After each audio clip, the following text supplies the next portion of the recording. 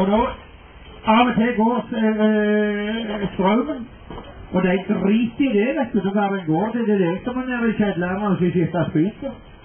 De bryr seg ikke om det i det hele tatt. Ja, men det var gildt å se deg her, du. Ja, det, vi skal ta en liten sang. Jeg eh, må jo si det at jeg, jeg er jo ung kar. Det er det andre ungkarer her. Opp med hånden. Må ikke være redde, vi skal ikke lodde dere ut. Det er det. En annen ungkar, kanskje.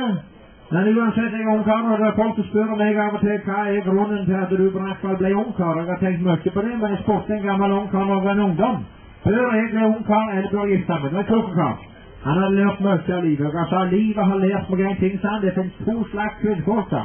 Den ene sorten, de kjefter og ballerer for alt. Og den andre sorten, de kjefter og ballerer for ingenting, sa. Og for meg så måtte jeg jo sjøl finne meg ut av det, men um, det er veldig vanskelig å være ungkar når det begynner å, å vintre. Og da er det folk som spør meg, eksempel, er det ikke av og til du har en lengsel etter ei kvinne? Og jeg må innrømme jo, jeg er ikke umenneskelig bestemt.